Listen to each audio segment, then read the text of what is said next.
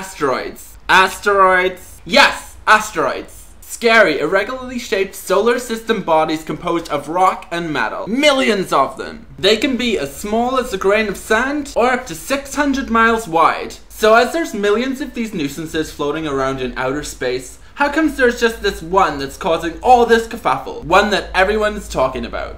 Its name is Apophis and it's gonna hit the earth. Well, maybe. So, um, what's Apophis? Discovered by Roy, David, and Fabrizio on June 19, 2004, Apophis is a near-Earth asteroid causing concern as there is a small possibility of an impact with Earth on April 13, 2036.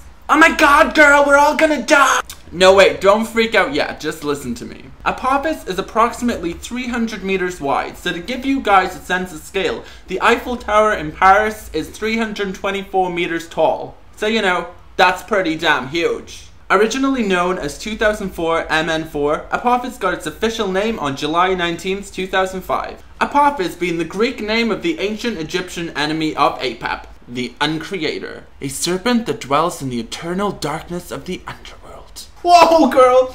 That's some it gonna hit us, or what? Well, it did cause a media frenzy in December 2004 when the original NASA report stated an impact chance of 1 in 300 in 2029. 1 in 300? That's not so bad, right? I suppose. But later that same day, it was changed to 1 in 62. Then, 1 in 42. Then it went up to 1 in 45. Okay, we're going back up, we're going back up. Then, 1 in 37.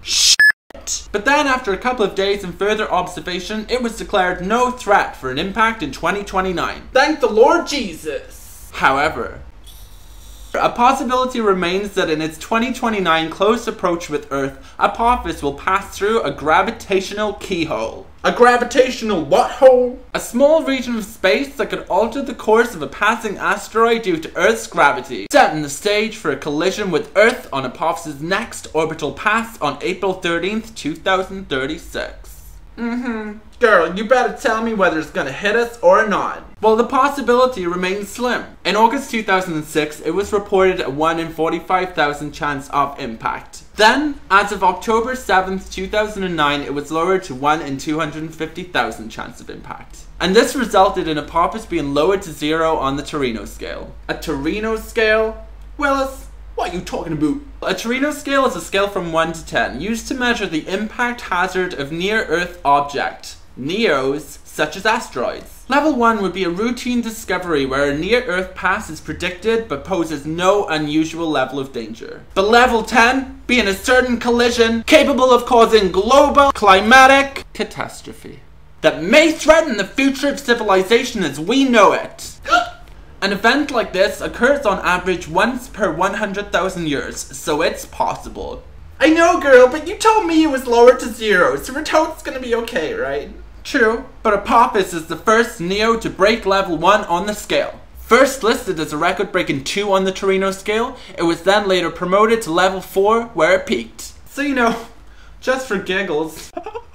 what would happen if it hit us? Okay, well, um, due to its size, if a collision was certified um, certain, then the highest that it could peak on the scale would be a level 9, meaning that a land impact would cause unprecedented regional devastation. And an ocean impact, well, an ocean impact would cause major, and I mean major tsunamis in all directions. Apophis would release approximately 510 megatons of energy. Suggests as a comparison, the object that carved out the meteor crater in Arizona released a mere 3 to 10 megatons. What they gonna do if this comes for us? Well, a number of proposals for deflecting Apophis have been described, such as a gravitational tractor, which would be a spacecraft which deflects another object in space without physically touching it. Or there's the kinetic impact, which is essentially hurtling a large object, such as a spacecraft, at the asteroid to move it off its course. And also, nuclear weapons. You talking about blowing the Basically, yes. Mm-hmm. We ever gonna see it? On April 13th, 2029, Apophis will approach Earth at a distance no closer than 18,300 miles. And that would be close enough to be seen by the naked eye. Oh my god, Skirl, I'm gonna get my binoculars! So uh, yeah, that's it you guys. That's Apophis. Kinda scary, right?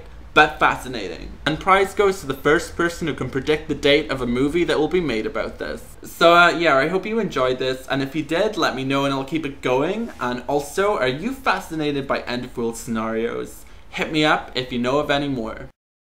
Next time you guys, I'll see you later. And remember to rate, comment, and subscribe. Bye.